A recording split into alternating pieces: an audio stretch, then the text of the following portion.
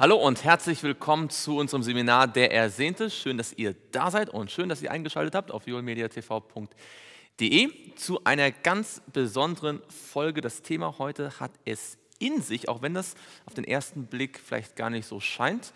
Wir wollen heute über die Taufe Jesu sprechen und damit eigentlich jetzt wirklich damit beginnen, den Dienst von Jesus unter die Lupe zu nehmen. Alles andere war ja quasi eine ausgedehnte, wichtige geistliche Vorbereitung.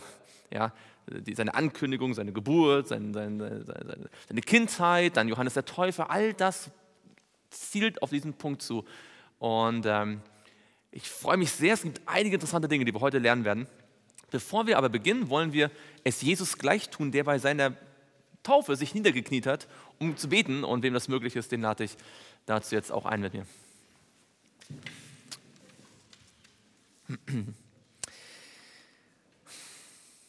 Lieber Vater im Himmel, wir möchten dir von ganzem Herzen Dank sagen, dass wir heute die Gelegenheit haben, über die Taufe Jesu zu sprechen.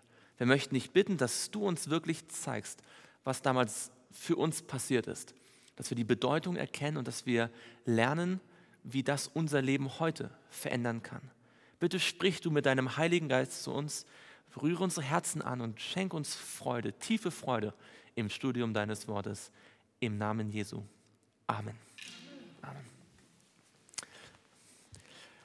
Die Taufe Jesu findet sich bei drei der vier Evangelisten.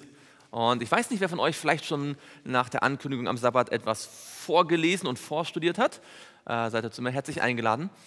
Wisst ihr, in, bei welchen Evangelisten die Taufe als solches berichtet wird? Und wenn ja, wo? Welche Evangelisten berichten von der Taufe als dem nächsten Ereignis nach der Verkündigung von Johannes dem Täufer? Lukas, berichtet davon. Und zwar wo? Und wir werden auch diesmal wieder immer schön hin und her springen ne? zwischen den Evangelien. Also Lukas, wo? Lukas? Genau, Vers 21. Man kann sagen bis 23a. Ab 23b springt dann diese, dieses Geschlechtsregister, was wir schon angeschaut haben. Aber zweieinhalb Verse bei Lukas. Okay, wer noch? Lukas hat zweieinhalb Verse, 21, 22 und 23a. Matthäus. Äh, wo steht es bei Matthäus? Genau. Ja, und zwar direkt im Anschluss an die Geschichte von Johannes dem Täufer. Ja, das ist ja quasi ineinander übergehend. Und bis wohin geht es da? Vers 13 bis? Bis 17, genau. Matthäus hat fünf Verse. Und dann, wer hat es noch? Matthäus, Lukas und Markus hat es. Genau, also so wie bei Johannes dem Täufer, Matthäus, Markus und Lukas, auch hier Matthäus, Markus und Lukas. Und da ist es Markus Kapitel 1, Vers 9 bis 11. Genau, das sind drei Verse. Also in diesem Fall ist es Matthäus, der die längste Version hat. Matthäus ist der Einzige, der bestimmte Sachen berichtet, die die anderen nicht berichten. Und wiederum hat Johannes davon nicht direkt berichtet. Es kommt dann später so indirekt vor. Ähm, er spricht ja nur allgemein davon, wie da war ein Mann, sein Name war ein Mann gesandt von Gott, sein Name war Johannes und er sollte Zeugnis geben von dem Licht. Ja. Aber die genauen Umstände und Begebenheiten bleiben äh, bei, werden da erstmal nicht erwähnt, nur allgemein in die.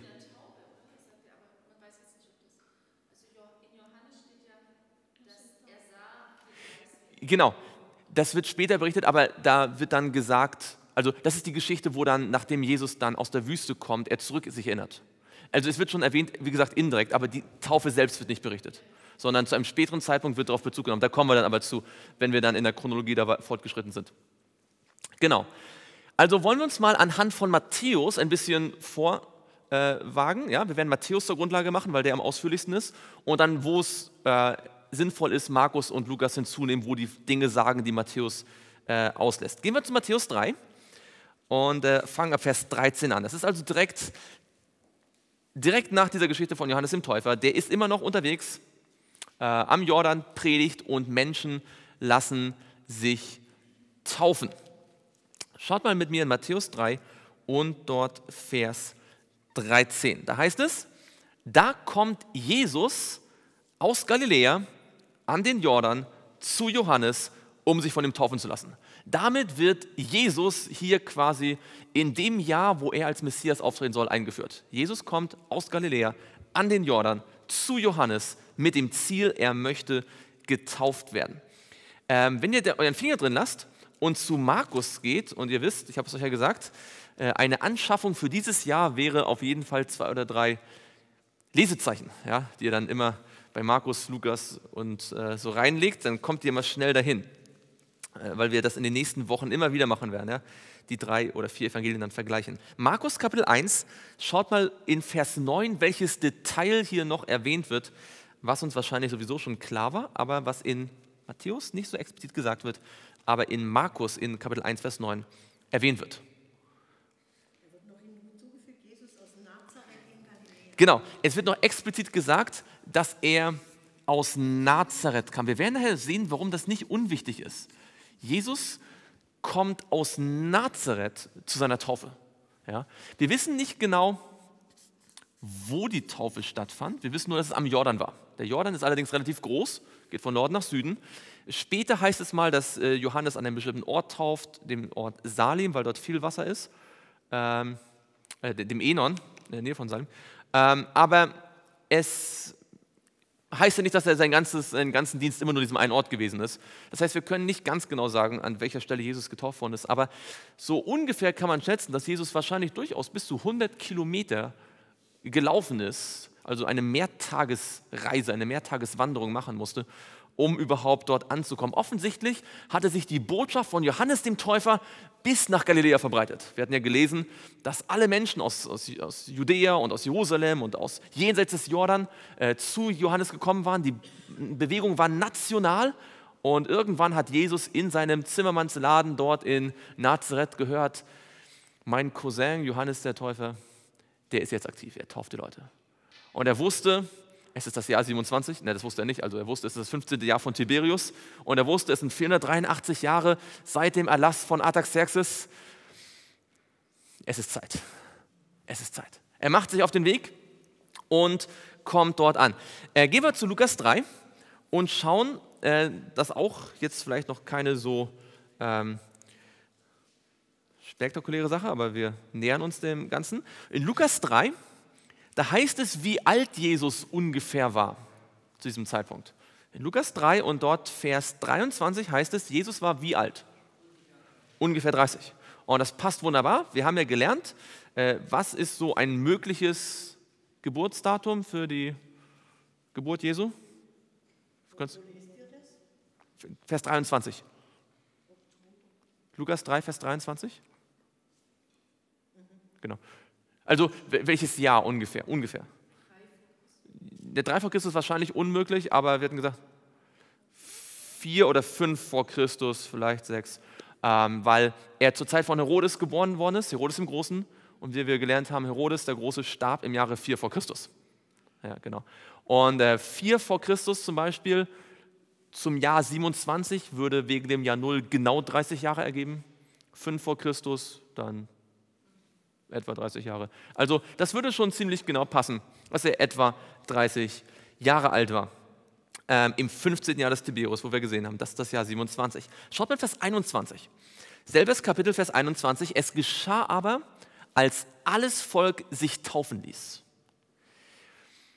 Als Jesus kam, um sich taufen zu lassen, da war er nicht der Einzige. Ja, bei uns ist ja oft so, dass wenn eine Taufe ist, da wird einer getauft oder zwei oder drei. Ja ein riesen, riesen Fest gemacht, das ist ja auch wunderbar. Aber das war mehr so Massentaufe. Ja? Die standen wahrscheinlich an, um getauft zu werden. Ja? Alles Volk ließ sich taufen. Wir haben letztes Mal gelernt, Johannes der Täufer hat die Leute nicht einfach ähm, pauschal taufen lassen, sondern er hat nur Leute getauft, die wirklich Früchte brachten. Was für Früchte? Die der Buße würdig sind. Ja? echte Lebensveränderung. Ja? Sie sollten die zehn Gebote halten, sie sollten in ihrem Lebensstil ähm, für andere da sein und so weiter und so fort. Und äh, die Tatsache, dass, wie es hier heißt, alles Volk sich taufen ließ, deutet darauf hin, dass, wir gehen mal davon aus, dass Johannes nicht über Nacht seine Standards verloren hat, dass es eine echte und tiefgreifende Erweckung und Reformation im Volk gab. Es gab wirklich Bekehrungen en masse. Und das Tolle ist, wenn man darüber nachdenkt, da kommen also die Leute, sie kommen zu Johannes dem Täufer, weil sie gehört haben, da gibt es einen Wunder, also einen, einen tollen Prediger. Ja, sie hören ihm zu und sie wollen sich taufen lassen sagen, hey, da, da möchte ich dabei sein bei der Bewegung. Und dann sagt ihnen Johannes, schön und gut, aber ihr, möcht ihr müsst euch wirklich ändern. Und dann bekehren sie sich wirklich, ja, sie nehmen sozusagen Bibelunterricht bei ihm, ja, und sie studieren die Bibel und sie werden wirklich bekehrt. Und als sie dann getauft werden, erscheint Jesus in ihrer Mitte. Ein schönes Bild dafür, dass wenn wir uns wirklich von Herzen bekehren und nicht einfach nur sagen, oh, da möchte ich auch mit dabei sein, Herzensbekehrung führt dazu, dass Jesus nah ist. Er erschien in ihrer Mitte, als sie wirklich äh, von Herzen bekehrt waren. Jetzt gehen wir zurück zu Matthäus und folgen mal dem Verlauf. Ähm, der Grund, warum Matthäus länger ist als die anderen, ist, er berichtet eine kleine Begebenheit, die jetzt in Vers 14 stattfindet, als einziger. Ich denke, ihr kennt diese Begebenheit, aber Markus und Lukas berichten davon nicht, nur Matthäus. Ganz interessant. Vers 14. Also Johannes, äh, Jesus kommt und da heißt es in Vers 14, Johannes aber wehrte ihm und sprach, ich habe es nötig, von dir getauft zu werden und du kommst zu mir. Diese kleine, diesen kleinen Dialog, ja, den wir wahrscheinlich gut kennen, interessanterweise wird nur von Matthäus berichtet. Jetzt, wenn man das liest, er wehrte ihm, da könnte man ja fast so den Eindruck, also im Deutschen, wenn man heißt abwehren, das klingt fast so ein bisschen wie, nee, du kommst ja nicht rein, ja, du darfst so, als würde jemand körperlich daran hindern. Das ist von der Übersetzung nicht das günstigste. Äh, die neue evangelistische Übersetzung sagt äh, etwas passender. Er versucht ihn davon abzubringen, ist immer noch nicht ganz ideal. Das Griechische ist eigentlich mehr eine gedankliche Sache. Also stellt euch vor, es ist nicht, stellt euch vor, Johannes der Täufer steht im Wasser und da kommt Jesus, also nicht, nein, nein, nein, du darfst nicht, sondern ist mehr so etwas wie, was du möchtest getauft werden? Ja? Ähm, er kann es sich überhaupt nicht vorstellen. Er ist in seinen Gedanken so felsenfest überzeugt, dass das nicht notwendig ist, dass er ihn quasi entmutigen möchte, sozusagen, es zu tun. Und das ist interessant. Jesus hat noch nicht einmal die Salbung erhalten. Da geht es schon los, dass Leute, die im Werk Gottes arbeiten, ihn nicht richtig verstehen. Und mit besten Gedanken und Ideen Dinge vorschlagen, die gegen Gottes Plan sind. Kennt ihr noch andere Stellen, wo Leute aus bester Überzeugung Dinge vorschlagen, wo Jesus sagt, nein, nein, nein, nein. Petrus, ja, wo er sagt, das widerfahre dir nur nicht, muss nicht gekreuzigt werden, ja, bloß nicht.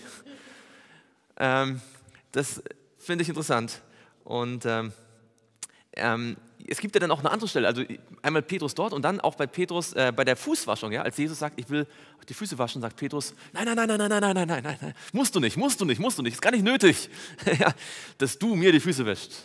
Ja. Es ist nicht nötig, dass du dich von mir taufen lässt.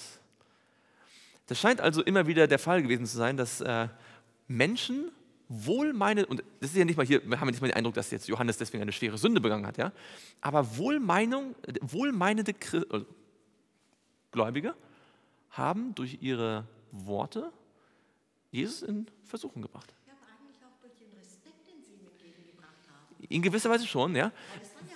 Es war Respekt, aber es war, dieser Respekt war gekoppelt an ein falsches Verständnis, ja. was der Dienst des Messias ist. Ja.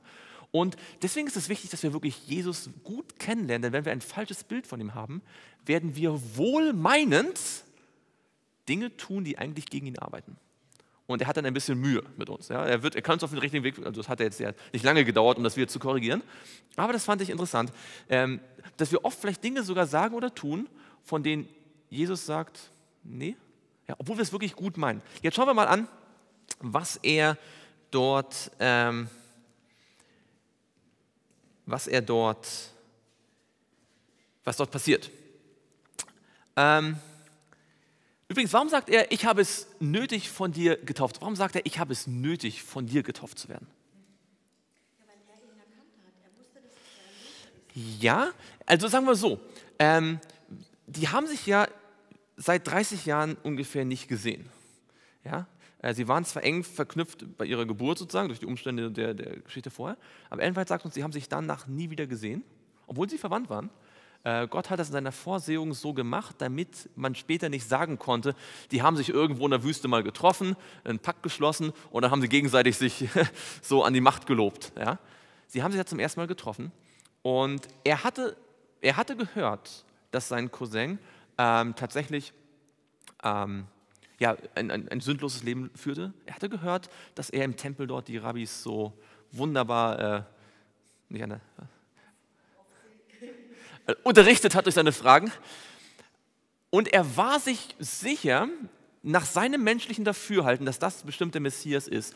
Aber er wollte nicht verkündigen, dass es der Messias ist, bevor er nicht ein göttliches Zeichen hat. Er wollte sicher sein. Er wollte nicht einfach nur seine äh, persönliche Sicht haben. Und so hat er gebeten, dass Gott ihm ein Zeichen gibt. Und Gott hat ihm offensichtlich gesagt, ähm, wenn derjenige zu dir kommt, der sich bei deiner Taufe, wenn es ein, von Gott ein besonderes Zeichen gibt, dann kannst du wissen, wer der Messias ist. Jetzt schauen wir mal weiter. Ähm, ach, übrigens noch was. Johannes sagt ja, ich habe es nötig. Als er im Wasser steht, stellt er fest, eigentlich hätte ich zu Jesus gehen müssen. Ja? Eigentlich hätte ich ja zu Jesus gehen müssen, weil er ist der Große und ich bin der Kleine, aber Jesus kommt zu mir. Ich habe nicht mal gewusst, dass er schon unterwegs ist. Und damit ist die erste Geschichte, wo Jesus als Erlöser auftritt, schon gleich ein symptomatisch für das Evangelium. Der Mensch erkennt, Jesus ist auf mich zugekommen, aber eigentlich brauche ich ihn. Eigentlich hätte ich auf ihn zugehen müssen. Das ist ja das, was wir in unserem Leben auch erleben, nicht wahr? Wir erleben, wie irgendwann Jesus in unser Leben getreten ist. Sei es durch verschiedene Umstände. Ja? Aber er ist auf uns zugegangen und als wir ihn dann erkennen, stellen wir fest, hey, ich hätte eigentlich nach dir suchen müssen. Ja? Aber du hast den ersten Schritt gemacht. Und von Beginn an äh, lebt Jesus also dieses Prinzip aus. Jetzt gehen wir mal in Vers 15. Jesus aber antwortete und sprach. Das ist so, so ein typisches so ein typischer Hebraismus, nicht wahr? So, Altes Testament, er antwortete und sprach zu ihm, lass es jetzt so geschehen, denn so gebührt es uns, alle Gerechtigkeit zu erfüllen. da gab er ihm nach. Jetzt die Antwort von Jesus ist interessant. Er sagt, denn so gebührt es uns, alle Gerechtigkeit zu erfüllen. Warum sagt Jesus das? Was hat er damit gemeint?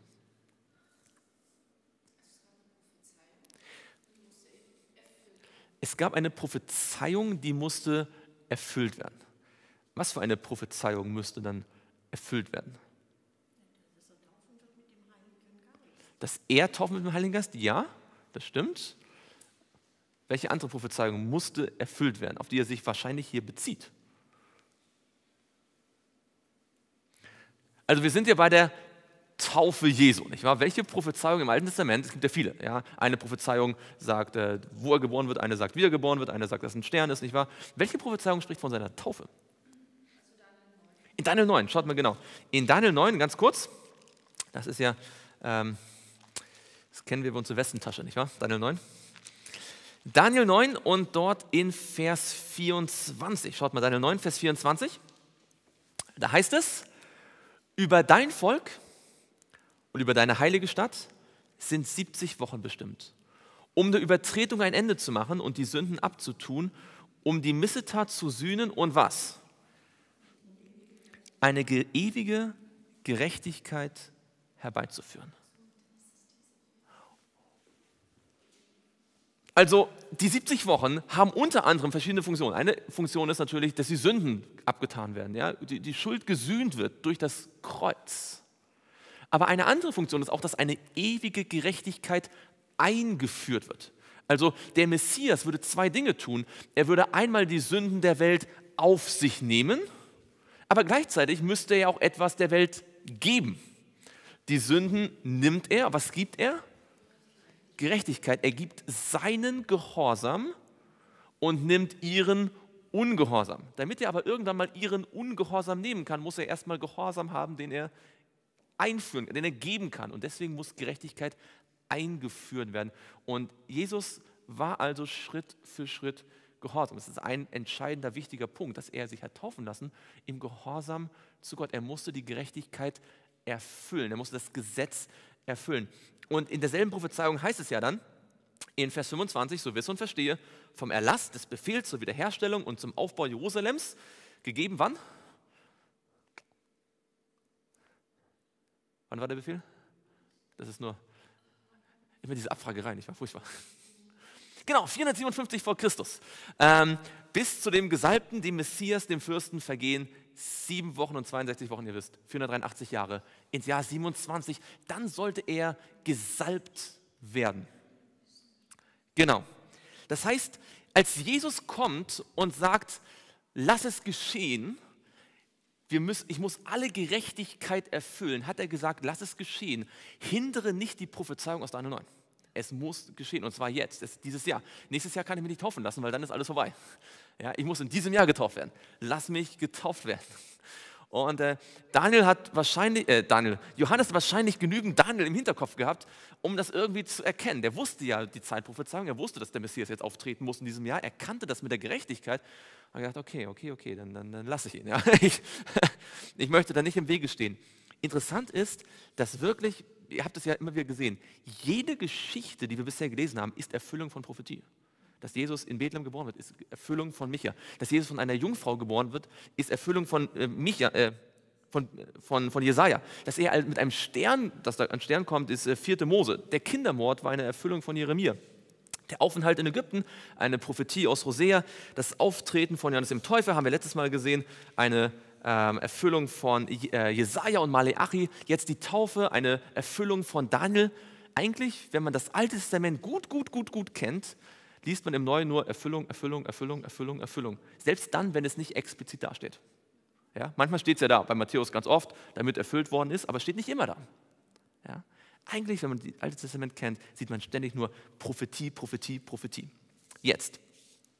Noch ein Beispiel. Warum hat sich Jesus taufen lassen? Das eine war natürlich, er wollte das Gesetz Gottes erfüllen. Er sagte, siehe, ich komme.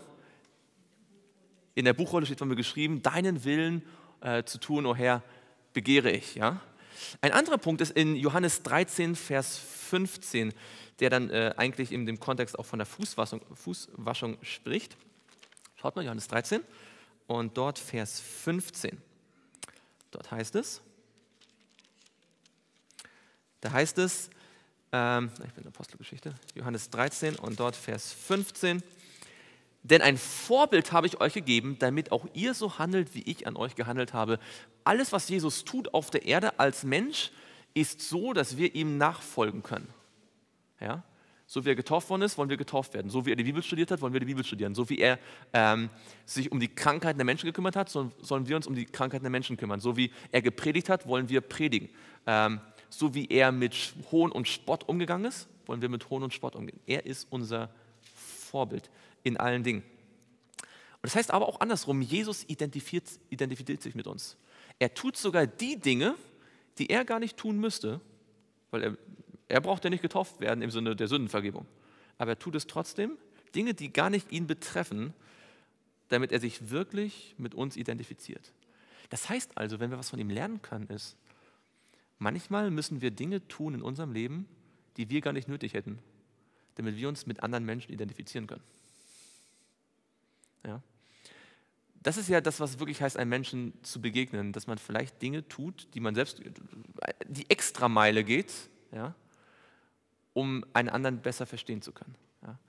Und das, das können wir von Jesus auf jeden Fall sehr deutlich lernen. Interessanterweise, diese Idee von Gerechtigkeit und Erfüllen kommt im ganzen Neuen Testament nur noch ein einziges Mal vor. Und zwar im Philipperbrief. Den können wir mal kurz lesen. Philipper Kapitel 1. Und auch das fand ich sehr interessant. Philippa Kapitel 1, Vers 10 und 11. Philippa Kapitel 1, Vers 10 und 11. Dort heißt es, damit ihr prüfen könnt, worauf es ankommt, so dass ihr wie seid, lauter und ohne Anstoß seid bis auf den Tag des Christus, also wirklich mit einem ja, vollkommenen Charakter. Und jetzt schaut mal den nächsten Vers. Diejenigen, die lauter und ohne Anschluss sind, sind was? Vers 11. Erfüllt mit Früchten der Gerechtigkeit. Also, Jesus hat nicht nur die Gerechtigkeit erfüllt im Sinne, dass er alles getan hat, was getan werden musste. Er hat mit der Taufe auch quasi besiegelt, dass sein Charakter lauter und ohne Anstoß war, was er dann gleich von Gott entsprechend bestätigt wird. Ja? Er hat damit deutlich machen wollen, hier ist jemand, der wirklich einen Charakter hat, so wie Gott es sich wünscht. Er erfüllt die Gerechtigkeit Und was der Paulus uns sagt, ist, dass durch die Kraft Christi, durch seine Gnade, dieser Charakter dann auch unser Charakter werden darf, kann und soll vor der Wiederkunft. Ja? Das ist, was dort steht, nicht wahr?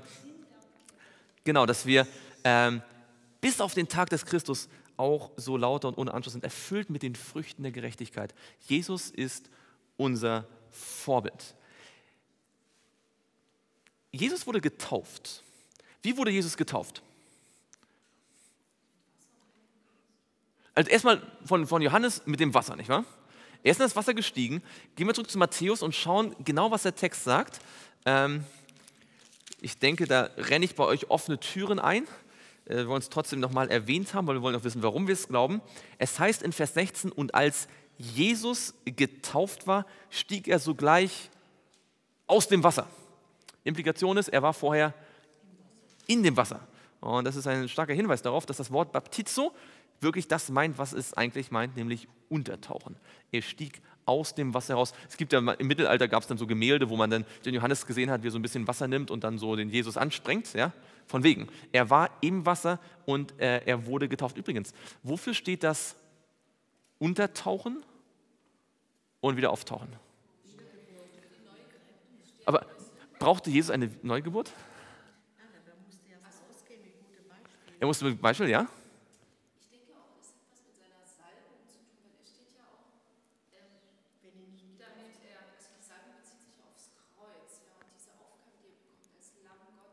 Ja. Er wird jetzt eingesetzt dafür, genau.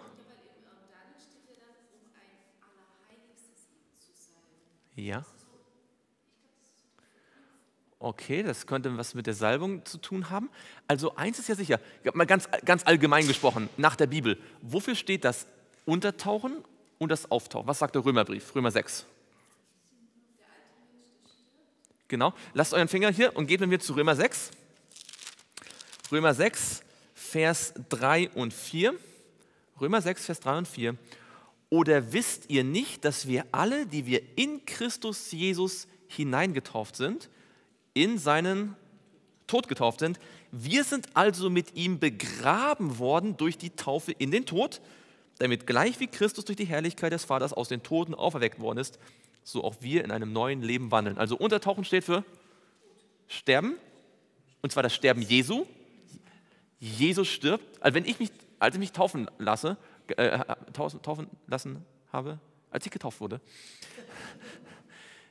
da habe ich durch mein Untertauchen gesagt, Jesus ist für mich gestorben. Und durch mein Aufstehen, Jesus ist für mich auferstanden. Als Jesus also getauft wurde, hat er damit auch deutlich gemacht, am ersten Tage seines Dienstes als Messias, ich werde für die Menschheit sterben und auferstehen. Das Kreuz, und das ist ein Punkt, den du richtig gesagt hast, das Kreuz und die Auferstehung waren vom ersten Tag an sein Fokus. Er hat seinen Dienst als Messias begonnen, quasi am ersten Arbeitstag hat er genau das Ziel gesehen, ich werde sterben, ich werde auferstehen. Er hatte nur dreieinhalb Jahre Zeit gehabt. Das Kreuz hat seinen Schatten bis an den Anfang geworfen. Es ist nicht so, dass er erstmal als, als Wanderprediger umherging und, und gepredigt hat und gute Taten getan hat und irgendwann ist ihm dann gedämmert, er muss noch mal sterben. Von Anfang an hat er das Ende gesehen. Ja. Und das bedeutet, das ist wieder eine interessante Lehre für uns. Als Jesus seine Mission begonnen hat, hat er begonnen mit, der, mit dem Blick aufs Kreuz. Egal, was wir für Gott tun, egal welche Mission wir in Angriff nehmen, ja, egal welche Aufgabe für uns Gott hat, von dem ersten Tag an müssen wir unseren Blick auf Christus und das Kreuz richten. Wenn wir nicht unseren Blick auf das Kreuz richten, dann werden wir den, den Weg nicht gehen können. Ja? Das Kreuz wirft seinen Schatten überall hin, bis ganz an den Anfang. Und das fand ich, fand ich sehr interessant, darüber nachzudenken. Ähm, es heißt es also, ach übrigens, bei Matthäus und Markus heißt es nur, er stieg aus dem Wasser hervor und dann öffnete sich der Himmel. Ja, man hat so das Bild immer, weiß, weiß kennt ihr das auch, auf die, die Amerikaner, die malen das auch immer so, dass Jesus noch im Wasser steht, ja, er kommt gerade raus, man sieht die, die, die Tropfen an ihm herabperlen und aus dem Himmel kommt schon der Heilige Geist quasi auf das Wasser, wie er im Wasser steht. Das ist offensichtlich nicht ganz richtig. Schaut mal in Lukas nochmal. Da gibt es ein kleines Detail, was der Lukas erwähnt.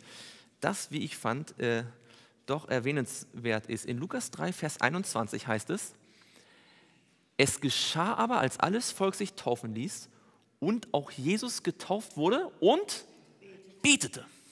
Also er wurde getauft und dann hat er gebetet. Es waren zwei Handlungen. Ja, ja, genau. Das heißt, Ellen White beschreibt das so, das finde ich sehr schön. Sie sagt, er kommt hin, nicht wahr? Er, er sagt, ich möchte dich taufen lassen. Dann gibt es diesen Dialog, ja, das muss doch gar nicht. Und er sagt, doch, lass es geschehen. Dann gehen sie ins Wasser. Er wird getauft. Er steigt aus dem Wasser hervor. Und dann am Flussbett sozusagen kniet er sich nieder und betet. Und aufgrund dieses Gebetes öffnet sich der Himmel. Und äh, was jetzt kommt, kommt aufgrund dieses. Ellen spricht einiges über dieses Gebet. Wir haben zwar die Worte nicht übermittelt, aber sie sagt, wir unterschätzen die Bedeutung dieses Gebetes. Werden wir gleich äh, noch ausführlicher dazu sprechen. Ich, ich sage euch nur einen Satz. Sie sagt, mit diesem Gebet hat Jesus, sie sagt wörtlich, dieses Gebet hat sich einen Weg geschnitten durch jeden Schatten, den der Satan jemals zwischen Gott und den Menschen gelegt hat.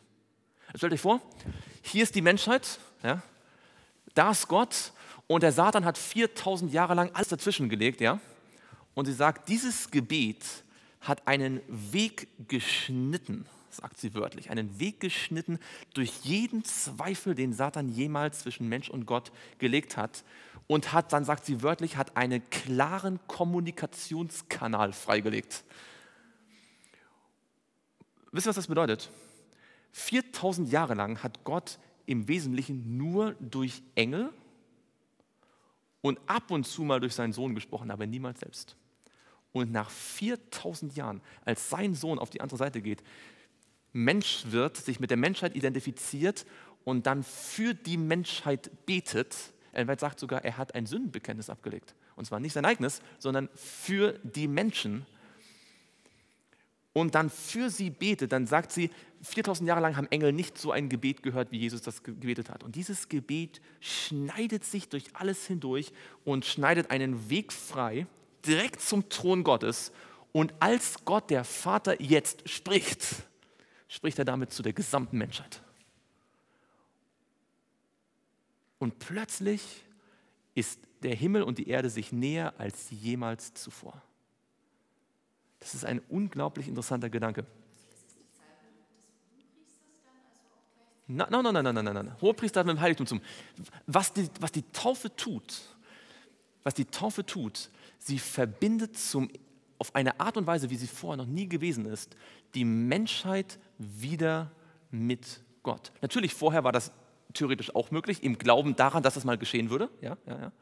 Aber hier ist es jetzt zum ersten Mal faktisch so, dass Gott, der Vater, direkt auf die Erde sprechen kann zu jemandem, der seine Stimme hören kann, weil er eben gerecht ist. Und damit die Menschheit, die in Christus ist, wieder in direkten Kontakt mit Gott gebracht wird.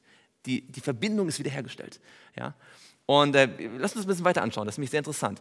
Es heißt jetzt nämlich, der Himmel reißt auf. Also Lukas sagt, da tat sich der Himmel auf. Äh, Matthäus sagt, da öffnete sich ihm der Himmel. Und Markus sagt, da sah er den Himmel zerrissen. Ja, der Himmel reißt auf. Und wo in der Bibel finden wir noch Stellen, wo der Himmel aufgerissen ist, wo der Himmel sich geöffnet hat? Nur mal so. Stephanus. Bei Stephanus, ja, der öffnete, da öffnete sich auch der Himmel, ja. Wo noch? Offenbarung, ja, bei, der, bei der Wiederkunft natürlich auch schon am Anfang der Offenbarung, in Offenbarung 4 heißt es, Johannes sah eine Tür im Himmel, die geöffnet war und dann ist er dann da hochgegangen, nicht wahr? Wo noch?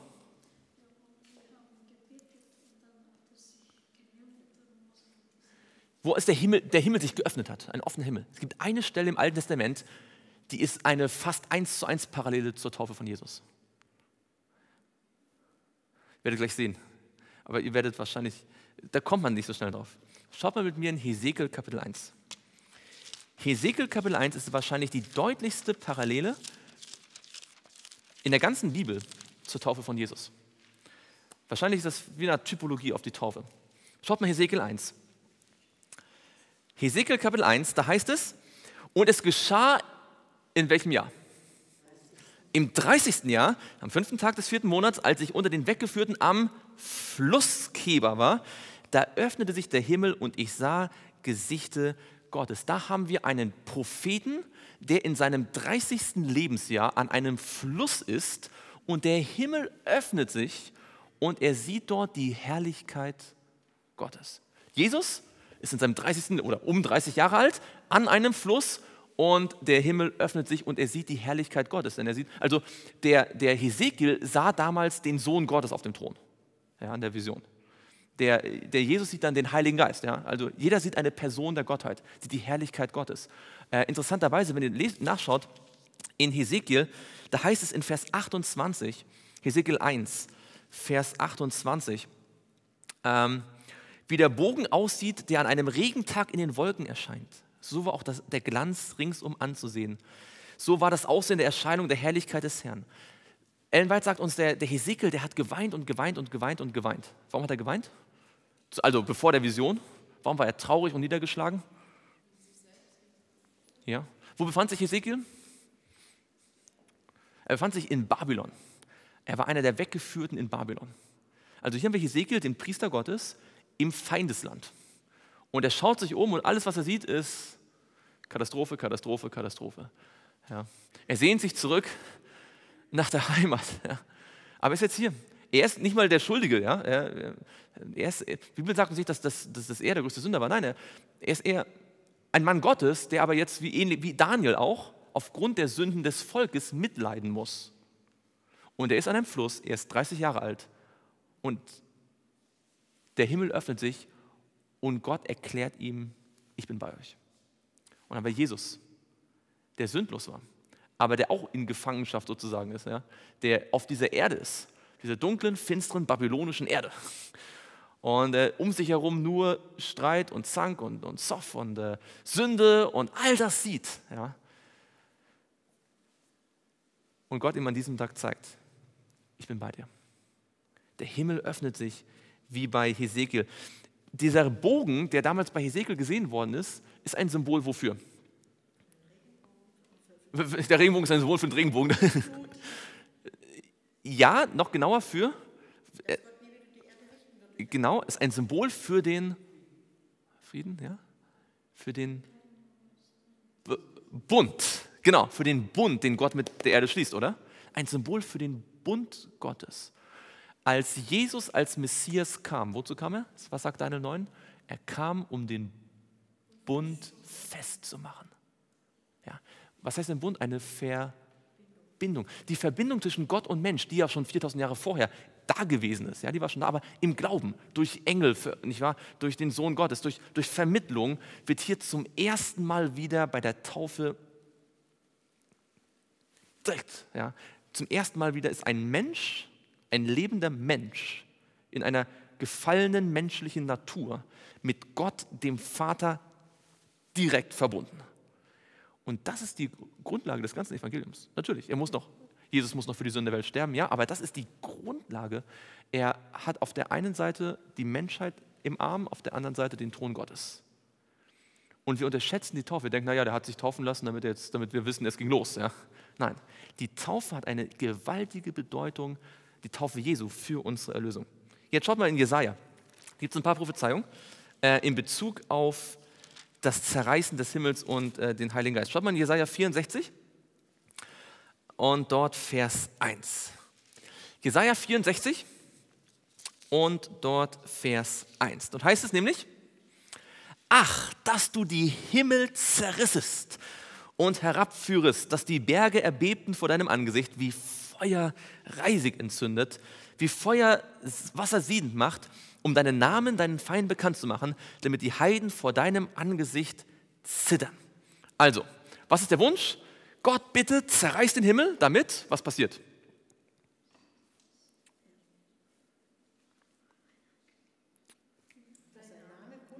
Dass sein Name kundgetan, sein Charakter kundgetan wird und? Genau, und ein Feuer angezündet wird. Könnt ihr das sehen? Wie Feuer Reisig entzündet, wie Feuer Wasser sieden macht. Das heißt, hier, hier wird ein Bild gebaut.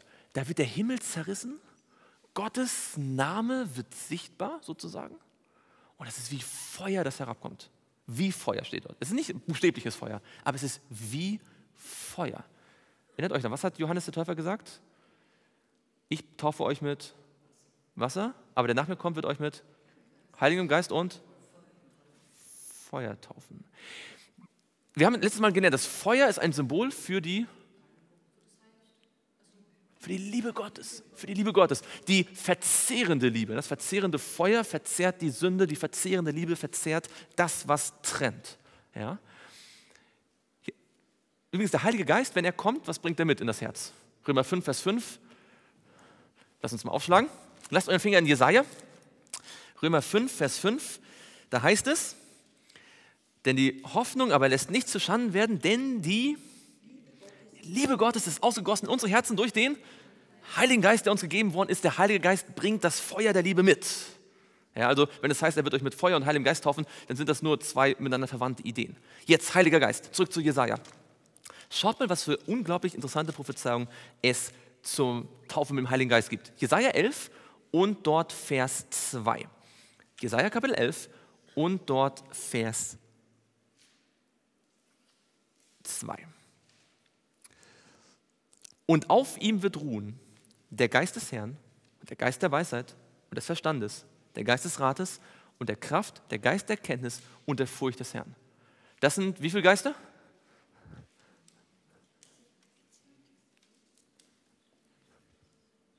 Der Geist des Herrn, der Geist der Wahrheit, der Weisheit, der Geist des Verstandes, der Geist des Rats, der Geist der Kraft, der Geist der Kenntnis und der Geist der Furcht des Herrn. Sind wie viel? Sieben. Wo finden wir nochmal sieben Geister? Offenbarung. Ja, das, sind, das sind die sieben Geister der Offenbarung. Aber das beschreibt ja nichts weiter als die sieben Eigenschaften des Geistes Gottes, des Heiligen Geistes. Und auf wem werden sie ruhen? Ja, aber schauen den Vers mal genau an. Also es steht auf ihm und die Frage ist, wer ist ihm? Ja, was steht in Vers 1? Nicht auf dem Stumpf, sondern auf dem, der aus dem Stumpf hervorgeht, nämlich auf dem Zweig, aus diesem kleinen Schössling. Könnt ihr euch erinnern? Könnt ihr daran erinnern, dass wir gesagt haben, da gab es so einen kleinen, dieser Stumpf, der abgehauen wird, dann kommt so ein kleines Schössling hervor? Wisst ihr noch zufällig, was das hebräische Wort für Schössling ist? Wisst ihr nicht mehr, ne? Das ist das hebräische Wort Netzer. Und Netzer ist verwandt mit Nazareth.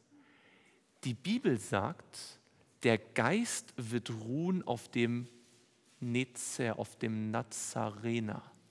Deswegen ist das so wichtig, dass er zur Taufe aus Nazareth kam. Ja, der Messias sollte in Bethlehem geboren werden, das stimmt. Aber die Bibel sagt auch, dass der Messias bei seiner Taufe ein Nazarener, ein, ein Netzer, ein deswegen sagt er in Matthäus, er wird ein Nazarener genannt werden, nach der Prophetie dass er aus Nazareth kam, war Erfüllung von Prophetie. Wenn er aus Samaria gekommen wäre, hätte er die Prophezeiung nicht erfüllt. Selbst die kleinsten Details sind in der Bibel Erfüllung von Prophetie. Auf ihm wird ruhen der Geist. Ja, auf ihm. Ähm, jetzt gehen wir zu Jesaja 42. Jesaja 2, hm? 42. Jesaja 42, Vers 1. Müssen uns sputen.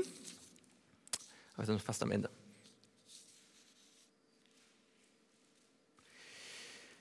Jesaja 42 und dort Vers 1. Dort heißt es: Siehe, das ist mein Knecht, den ich erhalte, mein Auserwählter, an dem meine Seele wohlgefallen hat. Ich habe meinen Geist auf ihn gelegt. Was wird er tun? Er wird das Recht zu den Heiden bringen. Ja? Könnt ihr euch erinnern? Ach, Himmel, ach Herr, dass du den Himmel zerrissest, dass dein Name bekannt wird und die Heiden erzittern? dass die Heiden erkennen, wer du bist. Der Messias wird getauft mit dem Heiligen Geist. Der Heilige Geist wird auf ihn gelegt, damit jetzt endlich die Heiden das Evangelium erkennen. Gott hat Jahrhunderte versucht, durch das Volk Israel das zu tun und die haben es einfach nicht geblickt. Ja, und jetzt, jetzt sagt Gott, okay, ich sende jemanden, auf den werde ich meinen Geist legen und durch den wird das Evangelium in die ganze Welt gehen. Und die Wahrheit ist, durch Jesus Christus ist das Evangelium in die ganze Welt gegangen. Denn jetzt gibt es Gläubige, Deutsche und Brasilianer und Japaner und so weiter. Ja? Er hat das Recht hinausgebracht. Schaut noch einen Vers an. Jesaja 59. Jesaja 59 und dort Vers 21. Jesaja 59 und dort Vers 21.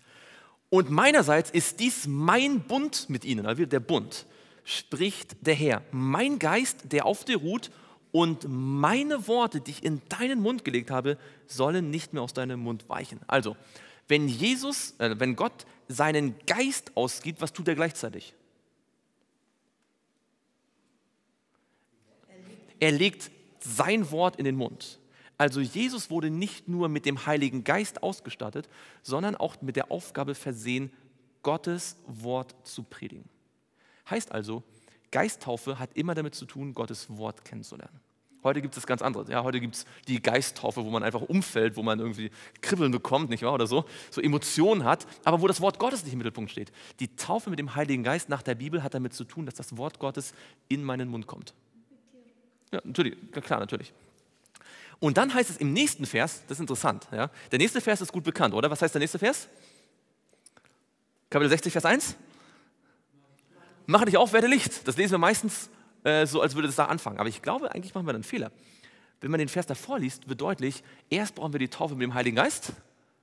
Ja? Gott legt sein Wort in unseren Mund und dann heißt es, mache dich auf, werde Licht. Weil wenn wir einfach uns nur aufmachen, so, weil uns jemand motiviert hat, jetzt machen wir was, dann machen wir was. Ja? Aber wenn, wir, wenn der Heilige Geist in unser Leben kommt, uns taufen lassen vom Heiligen Geist Tag für Tag, und wenn wir sein Wort in uns aufnehmen, studieren, nachdenken, und uns dann aufmachen, dann wird es wirklich hell. Ja, Jesus war das Licht der Welt. Das heißt, er macht dich auf, werde Licht. Er wurde getauft, hat das Wort Gottes gepredigt, er war das Licht der Welt. Dann sagt er, ihr seid das Licht der Welt. Also die Taufe dem Heiligen Geist und die Mission hängen direkt miteinander zusammen. Man kann sie nicht trennen. Taufe ohne den äh, Mission ohne Heiligen Geist ist Aktionismus und Heiliger Geist ohne Mission endet in Fanatismus. Ja, das kann man so in der Kirchengeschichte immer sehen. Ja. Jetzt schauen wir mal, also, genau, jetzt schauen wir mal in Ver, zurück zu Matthäus. Wie kam denn der, achso, das müssen wir unbedingt noch lesen, Jesaja 61, Entschuldigung.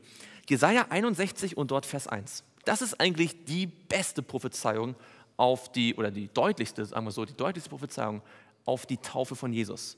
Er sagt, der Geist des Herrn, des Herrschers ist auf mir. Warum? weil er mich gesalbt hat. Daran sieht man, dass die Salbung wirklich mit dem Heiligen Geist ist. Seht ihr das? Der Geist des Herrn ist auf mir, weil er mich gesalbt hat. Später sagt der Paulus in der Postgeschichte 10, Vers 38, könnt ihr euch aufschreiben, müsst ihr jetzt nicht nachschlagen. Jesus wurde mit Heiligem Geist und Kraft gesalbt. Das ist die Begründung, warum wir sagen können, dass der Gesalbte in Daniel 9 Jesus ist wegen der Taufe mit dem Heiligen Geist. Ja, die Ausgießung des Heiligen Geistes auf Jesus war seine Salbung. Wozu wurde er gesalbt? Schaut mal in, Vers, in dem gleichen Vers. Er hat mich gesalbt, den Armen frohe Botschaft zu verkündigen. Heißt auf Deutsch? Ja, eigentlich e-, e-, eher griechisch. Evangelium, ja. Frohe Botschaft, Evangelium zu verkündigen. Er hat mich gesandt zu verbinden, die zerbrochenen Herzen sind, den Gefangenen Befreiung verkünden und Öffnung des Kerkers den Gebundenen. Damit begann seine Mission. Wann immer der Heilige Geist in unser Leben kommt, werden wir den Auftrag haben, andere, die gebunden sind, freizumachen. Ja, ihnen helfen, frei zu werden. Äh, müssen wir vielleicht genauer sagen. Äh, anderen Armen die frohe Botschaft zu predigen und verbinden, was zerbrochen worden ist. Und dann kommt im, bei Jesu Taufe der Heilige Geist. Wie kommt er? Wie eine Taube. Es heißt bei Lukas sogar in leiblicher Gestalt wie eine Taube. Was ist besonders an der Taube in der Bibel? Ja, deswegen steht die Taube für den Heiligen Geist, genau. Deswegen. Aber, aber, aber, jetzt mal, wenn man jetzt das Neue Testament noch nicht hat. Bei der Sinnflut wurde eine Taube wie oft ausgesandt? Dreimal. Beim ersten Mal kam sie zurück und hatte nichts im Mund. Im zweiten Mal kam sie zurück und beim zweiten Mal hatte sie einen Ölbaumzweig dabei. Ja. Beim zweiten den Ölzweig. Und beim dritten kam sie nicht wieder. Sie hatte einen Platz gefunden, wo sie ruhen konnte. Jetzt das Bild ist also, wenn der Heilige Geist wie, ein, wie eine Taube ist, der sucht einen, er sucht einen Platz, wo er ruhen kann. Es heißt ja in Jesaja 11, Vers 2, auf ihm wird ruhen, der Geist des Herrn. Ja. Auf ihm findet der Geist des Herrn seinen Ruheplatz. Mit anderen Worten, das Bild ist, der Heilige Geist hat 4000 Jahre lang einen Ort gesucht, wo er mal sich niedersetzen kann. Ja. Aber 4000 Jahre lang hat er nur sündige Menschen gesehen. So wie beim ersten Schöpfungstag, wo der Geist Gottes über dem Wasser schwebt. Ja, das Wasser ein Symbol für die Menschen und Völker, nicht wahr? Und dann findet der Heilige Geist endlich einen Menschen, der wirklich ohne Sünde ist. Einen Menschen, wo er in Fülle, nicht nur ein bisschen, der Heilige Geist wirkt, hat an jedem Menschen gewirkt, ja, und er hat auch Menschen erfüllt, ja, aber wo er in Fülle, ohne Kampf, ja, sich niederlassen kann. Bei allen anderen Menschen kommt er in das Herz vielleicht, er wirkt erst am Herzen, er klopft dran und dann lassen die Menschen hinein, aber selbst im Herzen muss der Heilige Geist immer noch kämpfen, ja, weil da gibt es immer noch irgendwie so Sünde und, und Begierden und das und das ist ein Kampf, ja, aber bei Jesus konnte er sich niedersetzen, er konnte ruhen, wie, ein, wie eine Taube. Übrigens, die Taube war das einzige Vogeltier, also der einzige Vogel im levitischen Gesetz, das äh, geschlachtet werden durfte. Das einzige Tier, das als Opfer auch galt. Fand ich ganz interessant. Und äh, dann kommt die Stimme des Vaters. Und das darf man nicht unterschätzen. Geht mit mir zu Matthäus ähm, 3. Noch, noch diesen Vers und dann sind wir am Ende. Also das heißt Vers 16, und als Jesus getauft war, stieg sogleich aus dem Wasser und siehe, da öffnete sich der Himmel und er sah den Geist Gottes wie eine Taube herabsteigen und auf ihn kommen und siehe, eine Stimme kam vom Himmel herab, die sprach, dies ist mein geliebter Sohn, an dem ich wohlgefallen habe. Übrigens, Matthäus sagt, dies ist mein geliebter Sohn. Bei äh, Markus und Lukas heißt es, wisst ihr, wie es heißt? Du bist mein geliebter Sohn. Das heißt, die Botschaft war an Jesus und an die Menschen. Gott hat also Jesus deutlich gemacht, du bist mein geliebter Sohn. Ich versichere dir, du bist es wirklich. Und den Menschen hat er gesagt, dies ist mein geliebter Sohn. Jetzt, dieser, diese, diese Geschichte ist sehr wichtig, weil hier sehen wir wie bei kaum einer anderen Geschichte, alle drei Personen der Gottheit sehr klar und sehr deutlich. Wir sehen Jesus im Wasser, wir sehen den Heiligen Geist in der Luft und Johannes sagt ja später, ich sah den Geist, wie du richtig gesagt hast, ich sah ihn. Das ist also nicht nur eine Vision, nicht nur eine, eine Metapher, eine Allegorie. Johannes hat den Heiligen Geist in leiblicher Gestalt gesehen. Er war da. Und er war nicht im Wasser, sondern er war in der Luft. Und der Heilige Geist war da und immer noch war jemand im Himmel, der von da reden konnte. Alle drei deutlich voneinander zu unterscheiden. Ja, drei Personen. Ähm, übrigens, das bedeutet, dass bei der Taufe Jesu Gott selbst, also der Vater, der Sohn, der Heilige Geist, alle drei sich offenbart haben. Und damit auch Jesus wusste, auch wenn ich unter den Menschen allein sein werde, ja, die Menschen werden mich nicht verstehen. Selbst der größte Prediger, Johannes der Täufer, der größte aller Propheten, versteht mich nicht ganz. Und Gott der Vater sagt mit Hilfe des Heiligen Geistes, pass auf, wir verstehen dich. wenn die Menschen nicht verstehen, wenn deine Jünger dir erzählen werden, du musst nicht sterben, wir verstehen dich, wir sind bei dir. Übrigens sagt Ellen White, wenn wir getauft werden, dann, ihr kennt es vielleicht, versichert Gott der Vater, der Sohn und der Heilige Geist, versichern, dass sie alles tun, was in ihrer Kraft steht, und das ist eine ziemlich, Aus, ziemlich starke Aussage, denn in ihrer Kraft steht ziemlich viel. Alles, was in ihrer Kraft steht, um uns auf dem Weg zu halten. Es steht nicht in ihrer Kraft, unseren Willen zu biegen. Ja, das tun sie, das heißt nicht, also das tun sie nicht. Ja? Aber alles, was in ihrer Macht steht, wenn wir mit ihnen kooperieren wollen, das tun sie, um uns auf dem Weg zu halten, selbst wenn uns alle Menschen nicht verstehen würden. Ja? Ähm, auch das können wir von Jesus lernen. Also, was sind, es sind zwei Dinge, die Jesus erlebt bei der Taufe. Das eine ist, er sieht den Heiligen Geist und das andere ist, er hört die Stimme. Was waren die Worte, die Gott ihm gesagt hat? Du bist mein geliebter Sohn. Okay, also nochmal denken. Jesus kommt zum Jordan und wird mit Wasser getauft. Und dann erlebt er mit seinen Sinnen zwei Dinge. Er sieht den Heiligen Geist und hört die Stimme, du bist mein geliebter Sohn. Das heißt, Jesus hört über die Liebe Gottes. Gott spricht über seine Liebe zu ihm. Mit welchem Symbol wird nochmal die Liebe in der Bibel dargestellt? Mit dem Feuer. Das heißt, Jesus wurde an diesem Tag mit Wasser getauft, mit dem Heiligen Geist getauft und mit Feuer getauft. Der Heilige Geist kam auf ihn und Jesus hört die Stimme. Du bist mein geliebter Sohn, denn die Liebe Gottes ist ja das Feuer. Das heißt, wenn, wenn die Bibel sagt, der Heilige, Jesus wird euch, Jesus wird euch mit Geist und, was, äh, mit Geist und äh, Feuer taufen, heißt es ja nicht, dass buchstäbliches Feuer auf uns herabkommt, sondern es heißt, dass Jesus uns die Liebe Gottes offenbaren wird. Aber bevor er das tut, hat er selbst in der Taufe demonstriert, wie das geht. Er wurde von einem Menschen mit Wasser getauft. Aber der Heilige Geist und die Liebe Gottes kam vom Himmel. Und genauso ist es bei unserer Taufe auch der Mensch tauft uns in, in Wasser, ja? wie auch immer das dann ist, ja, der Prediger. Aber von Gott kommt der Heilige Geist und die Zusicherung seiner Liebe. Und das heißt es, mit Heiligem Geist und Feuer getauft zu werden. Also Jesus selbst erlebt bei seiner Taufe genau das.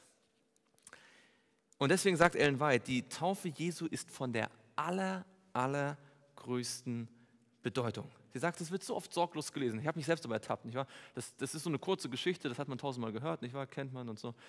Aber sie sagt, ähm, sie sagt, dass an, dieser, an diesem Tag Satan mit im Publikum stand und das beobachtet hat. Das kann ich mir gut vorstellen.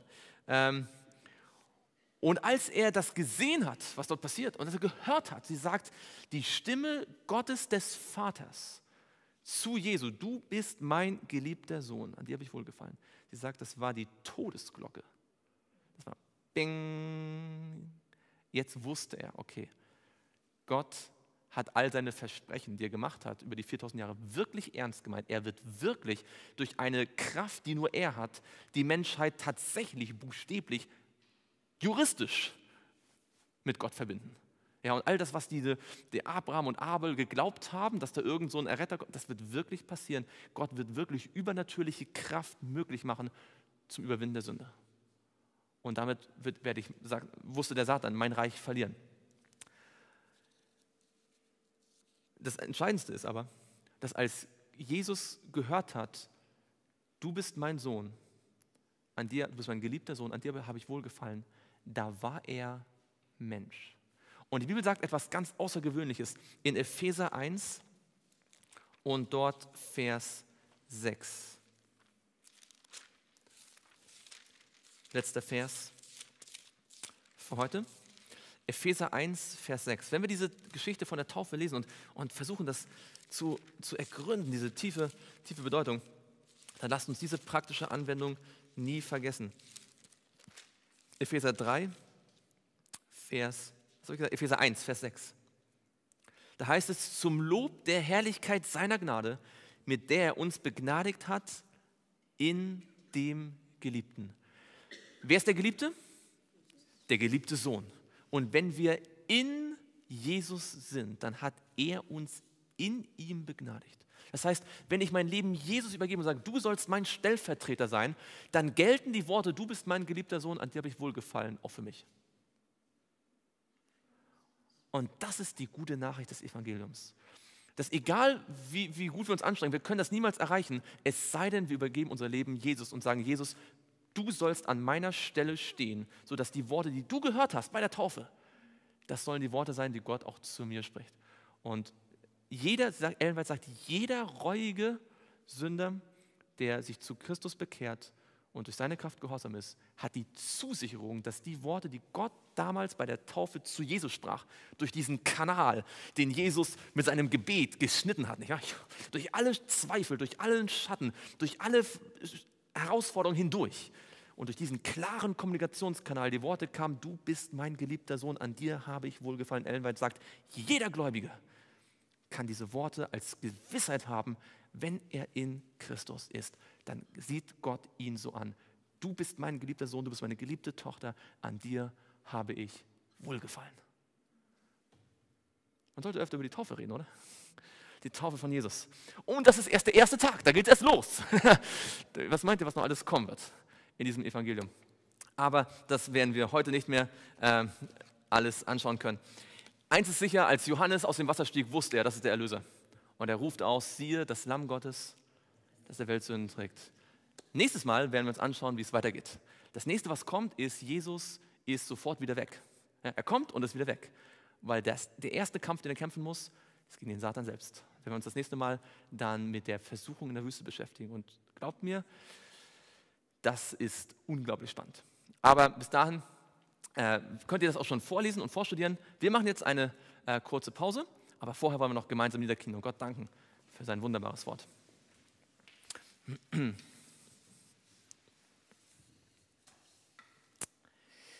Lieber Vater im Himmel, wir danken dir von ganzem Herzen, dass wir über dein Wort nachdenken durften, dass es solch eine, solch eine Schönheit hat, solch eine Tiefe und dass auch gut bekannte Geschichten oft so viele Aspekte haben, die wir überlesen, vernachlässigen und nicht drüber nachdenken. Wir danken dir von ganzem Herzen, dass wir wissen dürfen, dass diese Worte, die du damals bei der Taufe gesprochen hast,